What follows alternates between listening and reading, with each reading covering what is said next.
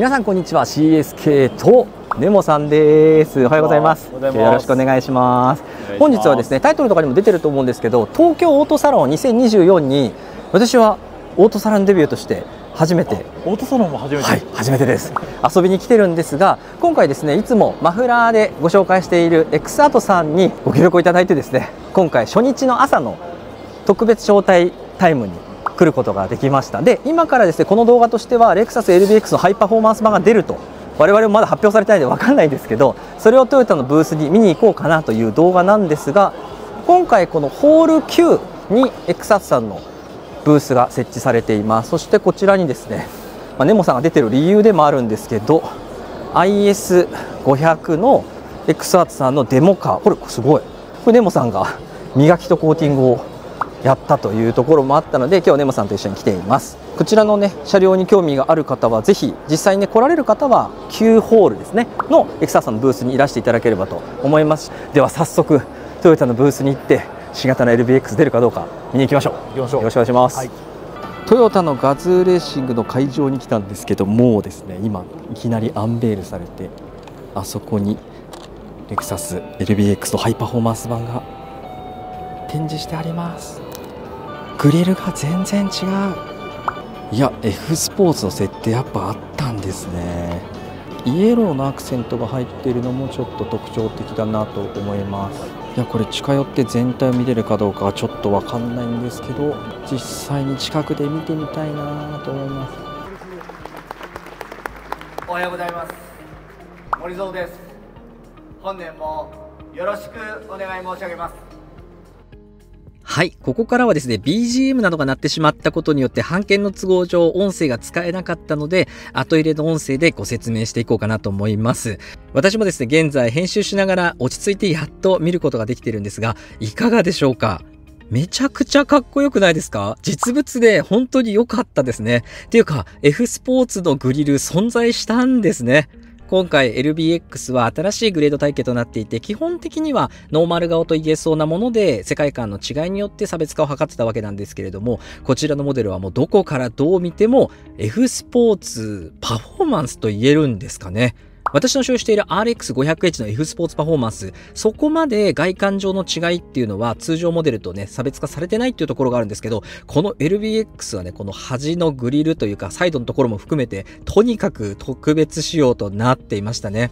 こちらの車両の名称は LBX 森蔵 RR コンセプトということで、あくまでコンセプトカーということなんですけれども、どうやら市販モデルに近い形ということなので、通常通り購入ができるモデルになりそうです。そして中のインテリアを見て気づいた方も多いかと思うんですが、なんとここでですね、ヘーゼル内装の F スポーツシートが初お披露目されてるみたいなんですよね。これ以上車両に近づくことができなかったんで、詳細チェックすることはできなかったんですが、これが NX に採用されるのかみたいなところもテンション上がりました。そしてですね、随所に森蔵さんのシグネチャーカラーであるイエローを採用しているということなので、従来の持っていたレクサスの F スポーツや F スポーツパフォーマンスの印象とまただいぶ違うなと感じました。サイドのエアインテーク、サイドグリル、かっこいいですね。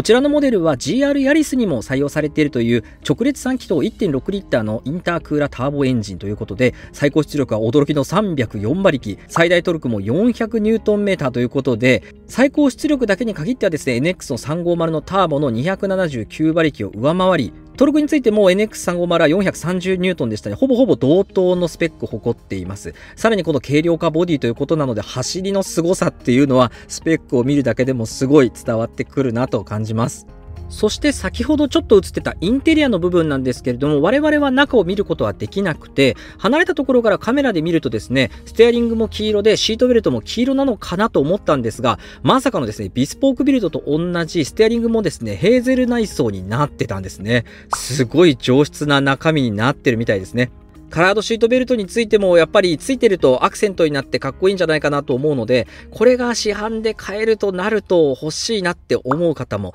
多いんじゃないでしょうか。私も LBX のリラックスの肉モデル、ハイブリッドモデルを注文済みで今月中に納車されるかもというところなんですが、やっぱりね、前回の市場で感じたのは本当扱いやすいサイズっていうところが良かったなっていう印象なんですね。これにハイパワーなエンジンが組み合わさることで自由にどこでも走っていける車になりそうです。ホイールも通常モデルより1つサイズの大きい19インチのホイールを履いていて単造、そしてブレーキキャリパーがイエローかつ、サイズ的には4ポットかなと思える対向ブレーキキャリパーになっているということなので、性能も折り紙付きということなんでしょう。いや、とってもかっこよかったです。そしてレクサス関連だと1個サプライズがありまして、まさかのですね、新型 GX が展示されていたんです。カスタムのジャオスさんのブースのところに専用のカスタムを施されたモデルとして展示されていたんですが、オーバートレイルと思われるグレードに、そして専用色と言われているムーンデザートのボディカラー、改めて見たんですけど、めちゃくちゃかっこよかったですね。サイズ感はやはり従来の GX に比べると非常に大きくなっているっていうところもあるんですが、会場にたまたまいらっしゃっていたチーフエンジニアの塚崎さんにいろいろお話をお伺いしたんですが、その大きさも感じさせない走りにぜひ期待してほしいということだったので、今後の国内の正式展開、とっても楽しみになりました。はい、ということで、エンディングです、デモさん。はい、だいぶ見ましたね、いろいろ。疲れました。ね、LBX 見れて、GX もサプライズ展示があって、ね、そしてあの私プレジデントはじめ3名の方々ともう めちゃめちゃミーハー出てましたよ。すごい興奮してました今日一番興奮したしなんだろあれのために来てよかったと思えたという感じがしました。で今実際ねエクスターさんのブースに戻ってきました。でエクスターさんの内容をそのままお届けしようと思ったんですけどちょっとなかなかねもう人が多いですよね。うんね、一般公開の時間よりは先のはずなんですけど、うん、ちょっとなかなかご紹介が厳しいので、まあ、また